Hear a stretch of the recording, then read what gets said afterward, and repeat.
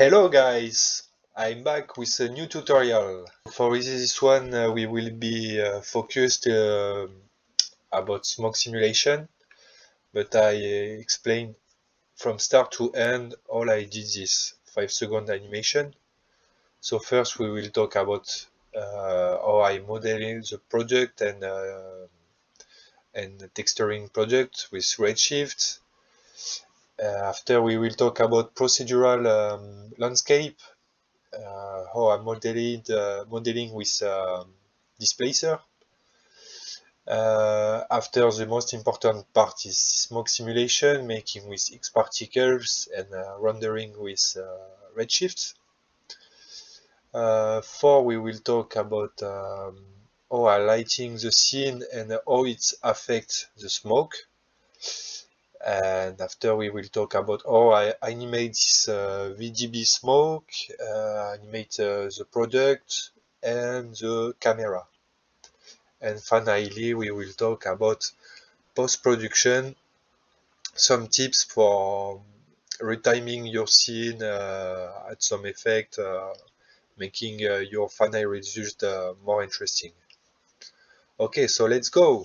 Let's talk about the product one top part, one bottom part. I'm using basic uh, hard surface modeling for making this. I will show you quickly.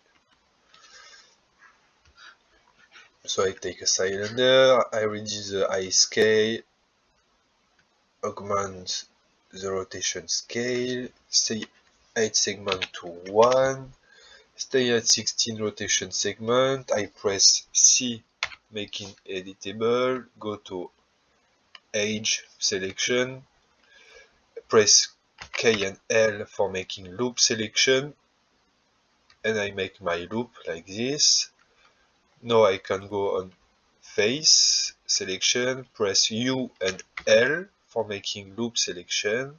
I take this one for example, and if I want to extrude this one and press M and T, go uh, off of the selection and left click or by left for go inside or right for go outside. Um, and I can use subdivision surface for having nice uh, loop selection. For don't have this weird uh, looking we can make a um, lot of uh, loop selection. Here is my number of cuts. If I want a lot of subdivision surface at the top, I press like 4.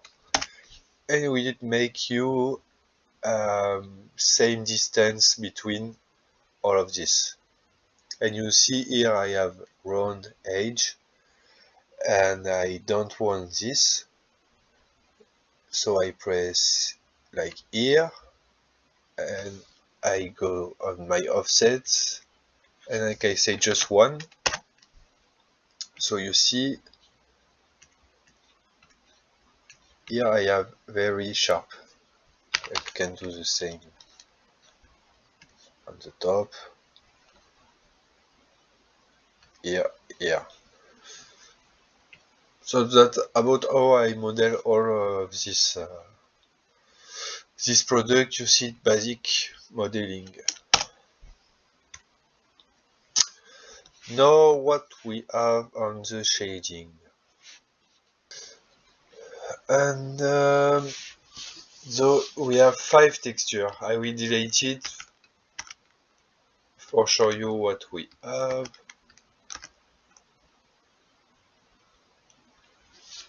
so I have got a basic texture for the bottom part. See basic texture with uh, some Maxon noise turbulent dispense for having some imperfection and uh, and roughness on the relief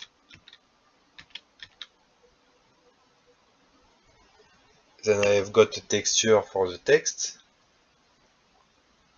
I prepared my uh, my layer on Photoshop You remember white we see, black we didn't see. And uh, with the mask, aluminium for the text and black for this part I using uh, I using uh, selection. You see you you press U and L and make your selection of what you want. And press set selection.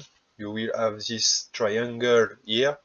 And you can drag and drop your uh, texture on your selection and will be applied only of the selection. So after what we have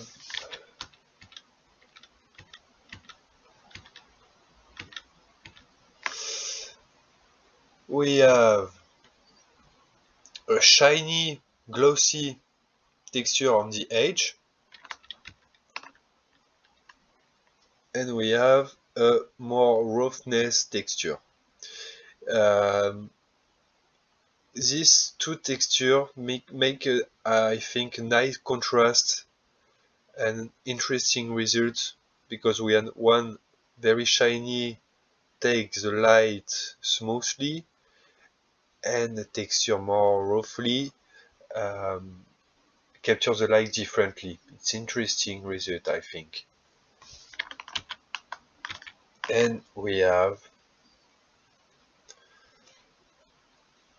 texture for the center part with logo, secret logo. So what we have on this uh, material.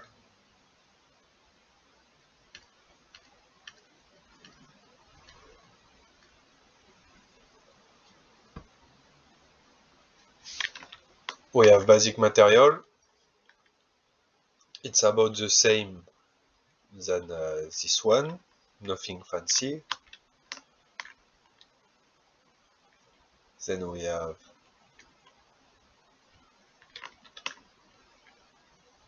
on the material blender same principles as Photoshop.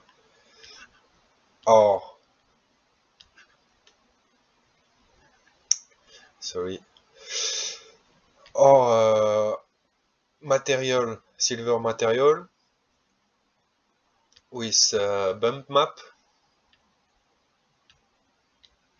I create this bump map uh, on uh, Photoshop. I will give you a link if you want to do the same. It, will, it add a little bit uh, relief uh, and more more realistic results. Um,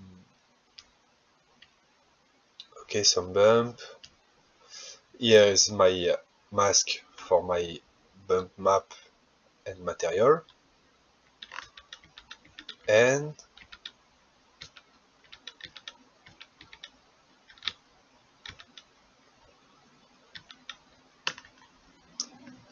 incandescent for making shiny. Um,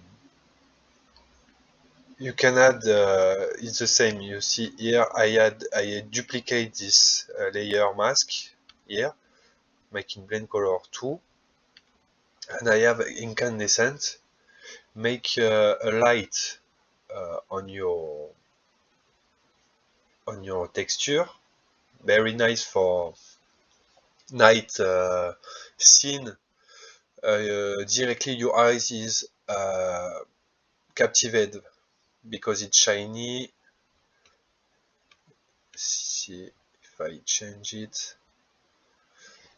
Um, so I have uh, yes blue light and I animate intensity multiplier more you have intensity more you have light. You see? So animate it all around uh, the timeline. At the start it will be uh, nothing. And at the end very shiny I find this way it's quite interesting. And some maxon noise for the global surface making more roughness. Let's talk about procedural modeling environment ground. Easy you you will see it's easy. So we have a center ground with big amount of subdivision surface for having a good uh, detail. Then I a, a displacer large displacer on my make a child of the plane. I add a noise with Voronoi 2 I chose this one. You can use whenever you want. I chose Voronoi 2 for having um, like a moon uh, look ground. And I use big amount of global scale. On the, the object parameters are using quite a big scale as well. You see if I increase we have huge scale. Uh, I think 20 is good you can experiment as well and and um, small displacer for add detail and this small displacer here I chose displaced turbulence with small uh, global scale and a small uh, 8 scale. So you see you combine displacer together and will give you random and realistic result. You can add more and more and more uh, whenever you want. More you add more you have uh, detailed result. But I think two it's okay uh, because after we will add a, complex texture on this one and will make uh, enough realistic I think. And for the hole on the center here I add a new displacer with a noise but just black color. Why black you see if I using white we have a hell uh, height on the top and if we add black we have a hole and you see here is the scale you can uh, have your the the size of your hole, the height of your hole of your ones. If I use 200, I have a very big hole. 20 is okay for what I want, and I'm using a spherical field for having just this uh, surface affected by the noise and you can play with remapping what's the look you want for your hole. So that's it for procedural modeling environment. It's good uh, this this way because if you're not happy with one parameters, you can change it and it's not destructive. Now let's talk about uh, texture of my of my um, ground.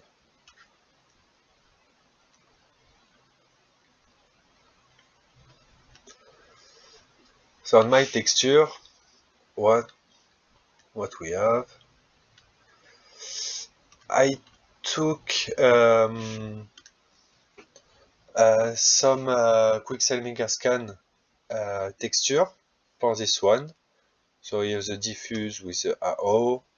You have all the map uh, on the Quixel Megascan. The normal map.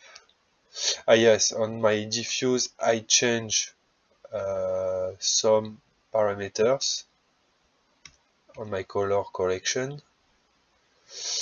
And uh, we have the displacement of of the package of the Quixel Megascan and I using a displacement blender. It's good. I just uh, discovered this one. You can blend uh, displacement together for having uh, more interesting results. On my displacement blender, I'm using the basic displacement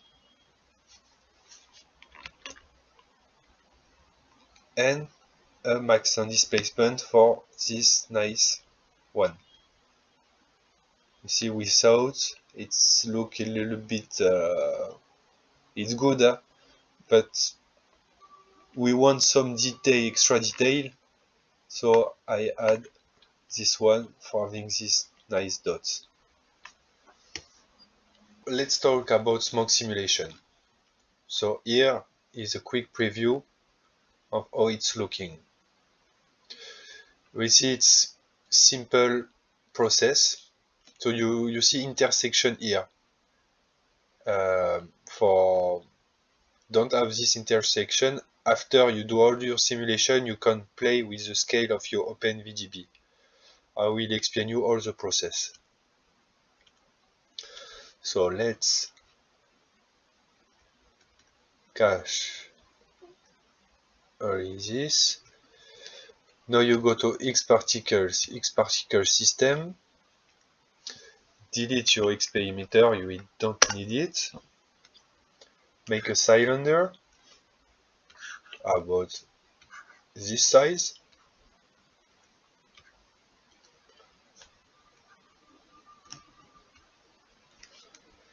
Your cylinder you can put here. Now on your X particle system, go to dynamics no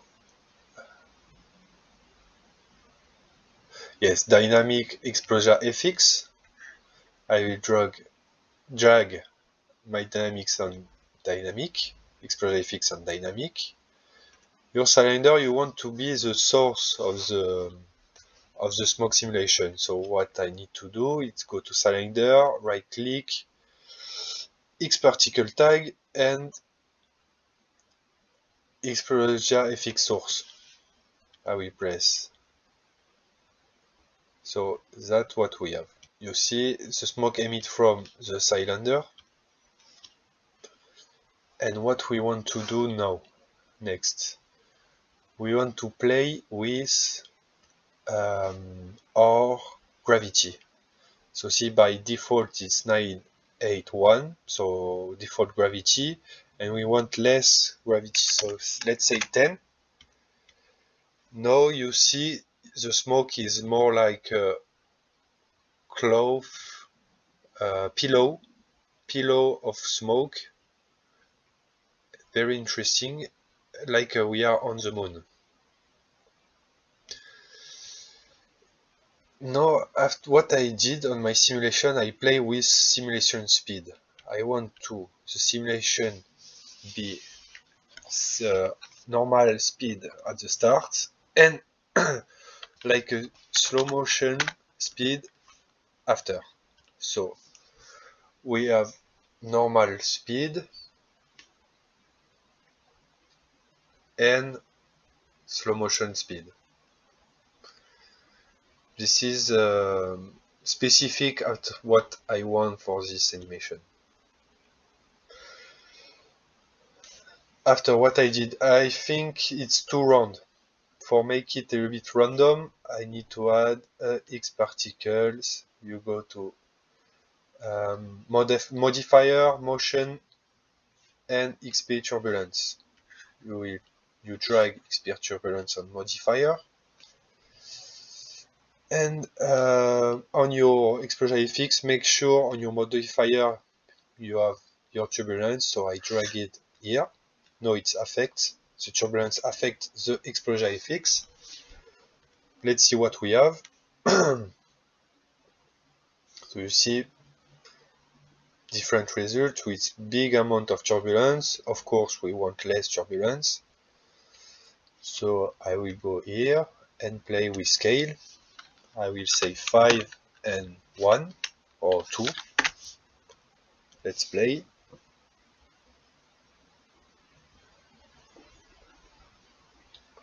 So you see it's a little bit less round. Stay round because we want it to be uh, quite round, but we have some extra detail and random makes it uh, more realistic. I play a little bit, uh, if I remember, uh, I will check. with uh, these parameters vorticity, turbulence strain, free for etching. So let's say free for etching. It will affect a little bit your smoke simulation. So vorticity is all uh, the, the smoke twist. Turbulence strange is the amount of turbulence. And turbulence radius is more you have turbulence radius, um, more the turbulence will affect on uh, a big surface. So I think this parameter is quite okay. You can play uh, with, with this. So let's see what we have.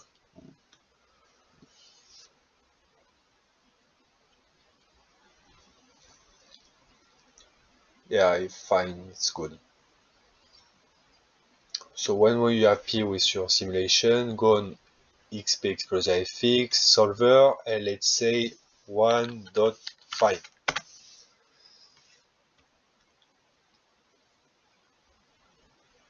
One dot five, uh, it's um, the good a good uh, amount of voxel size. So you see it's much slower, but higher is the, definition it's uh, good for having a very good quality of smoke. I tried free at the start, but I saw some um, strange uh, line on my smoke. It not look professional, so 1.5 is a good size of voxel size.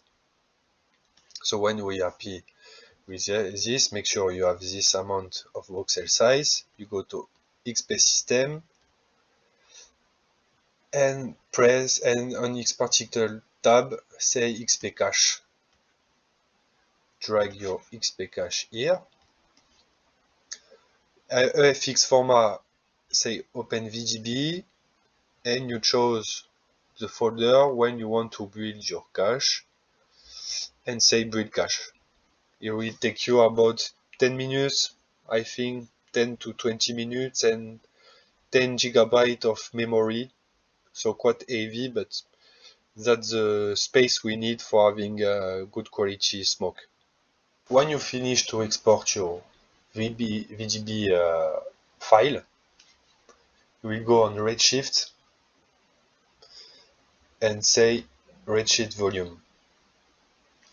I already uh, make it one.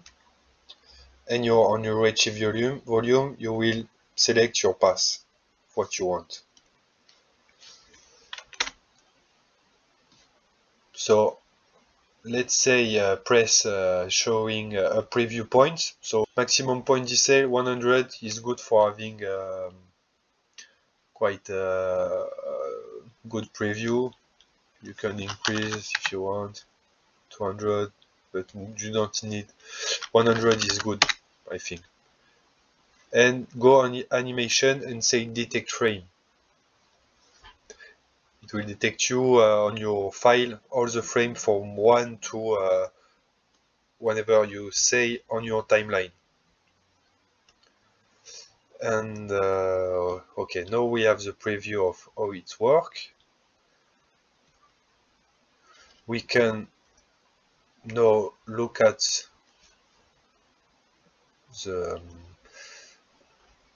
surface of ground and what I do, I play with my um, my size of my VDB. So you see at the start it will be very small on the X and Z scale and uh, quite the same on the Y because I want small round at the start and I want a big round at the end. Let's talk about the material of the smoke and of course the lighting will affect much much this material, a lot of the material on the scene. So both come together. Um, so I create a redshift volume, I drag it to my redshift volume yeah, a material redshift volume to my redshift volume file. Let's see what we have. So I, I, I enter density and density of these two channels so you, you can detect um, you can detect uh, object. Let's go to object. Yeah you see this both channel. We really just need density for this one. Uh, so I said 06 and 06 um, for the smoke uh, is a little bit transparent.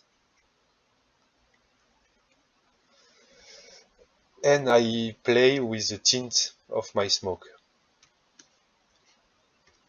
see if I want purple. I say purple. I chose blue for having um, same colors than my product logo. Um, and what if you want to, the, the smoke BC you need to have um, contribution scale on of your of your scene. So I will explain you how I I made my uh, my light my lighting.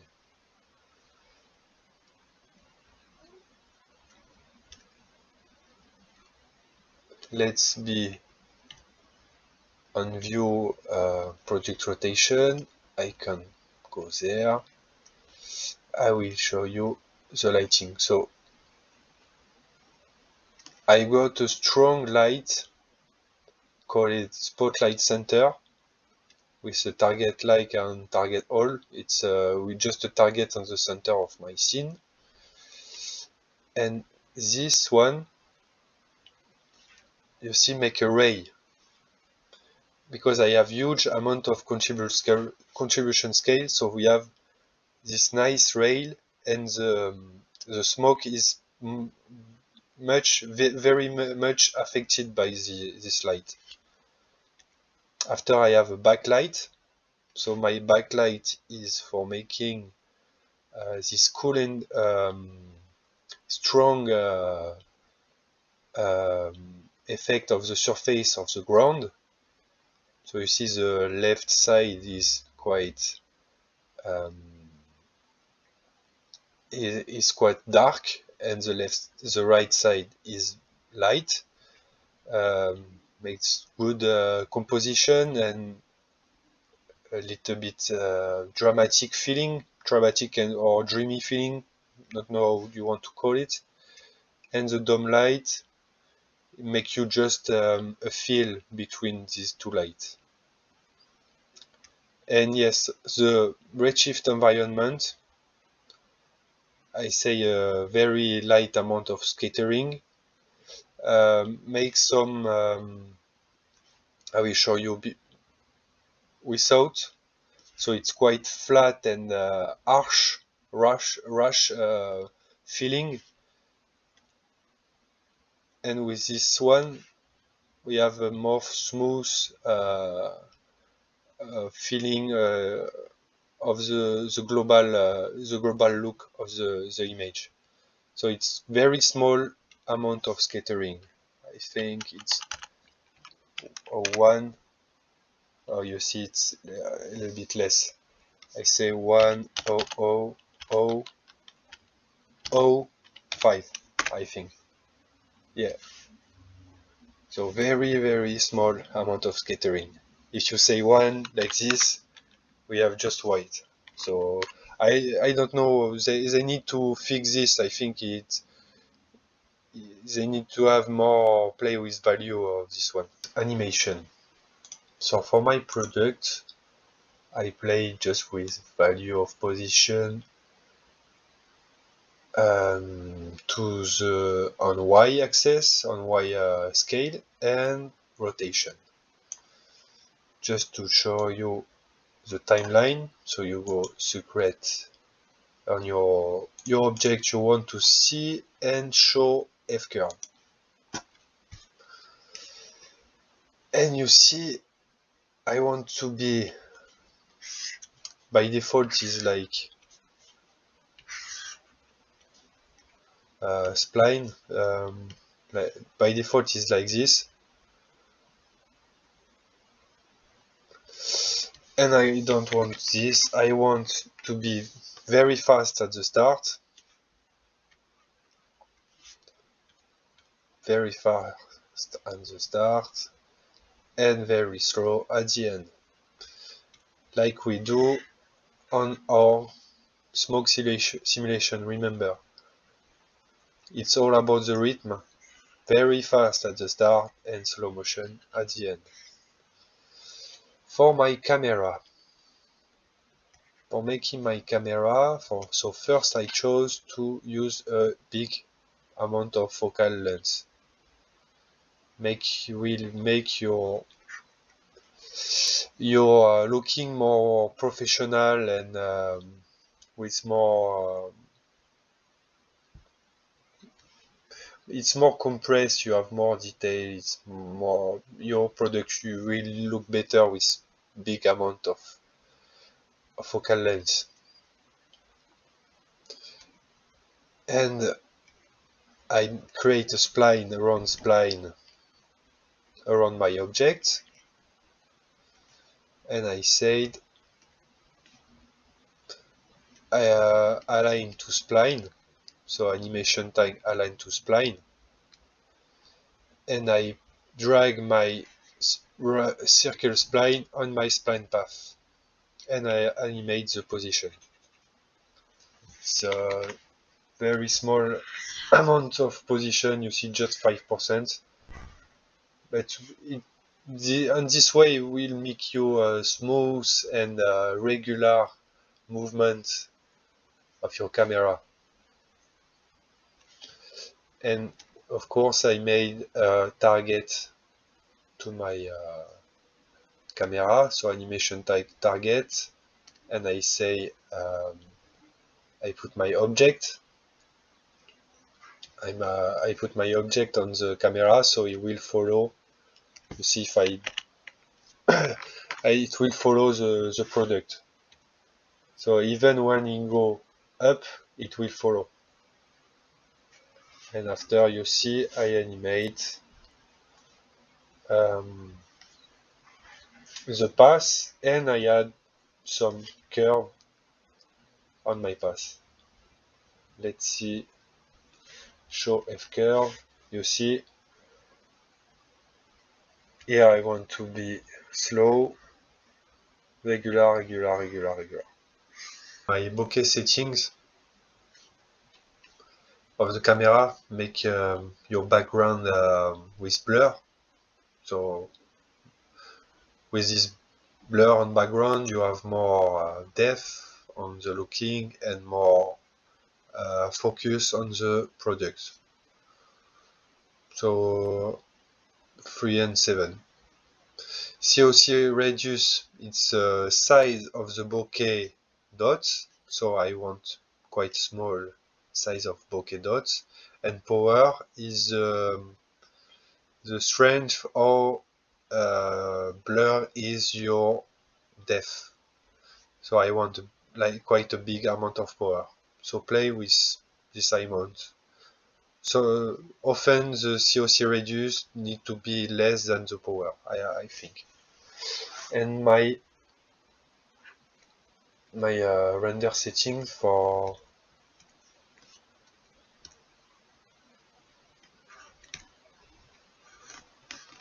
the product, so this amount of path is okay. What is very interesting, uh, important is these parameters. Volume uh, is for uh, the the lighting uh, environment, so need to be a big amount of sample. And on GI I say free. Reflection I increase a little bit the value So quite uh, standard render? Here, here and here. And export in uh, norm standard size. Um, yeah, with uh, of course all your frame. Finally, let's talk about post-production.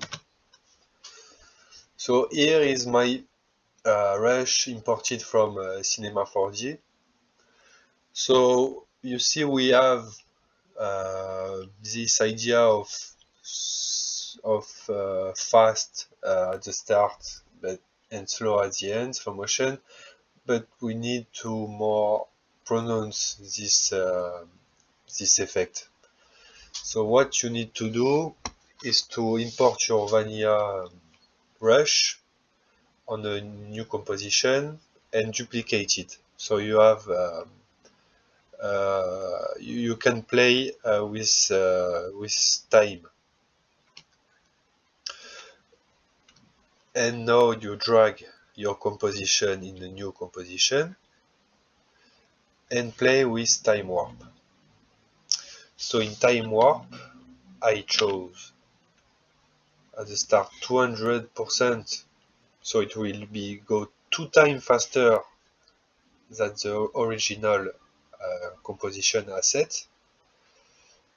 Then I go to 100, it will be at the normal uh, speed and about here I said 60 so it will be a motion uh, slow motion uh, feeling so very fast normal speed and slow motion Boom. now we have much dynamic results also I had some glow uh, with a mask. See I make a mask. Um, yeah, I create a mask uh, just around this one with a glow that I, I animate. So you see without glow uh, we have this and with glow we have this um, so yeah I animated make uh, evolutive uh, render like it's magic uh, magic box. And on my color uh, I play a little bit with curve. You see without with so more vibrant color. And uh, much uh, strong feeling of white and of black and I increase the saturation okay so you see now with motion blur we have this nice effect blurry effect at the start you can a little bit uh, increase if you want but at more realistic results and more dynamic. That's it for this tutorial guys. Hope you like it and you learn something from it, uh, especially for X particle simulation. Please, if you like it, uh, subscribe uh, to this YouTube channel and uh, follow me on Instagram. Bye guys.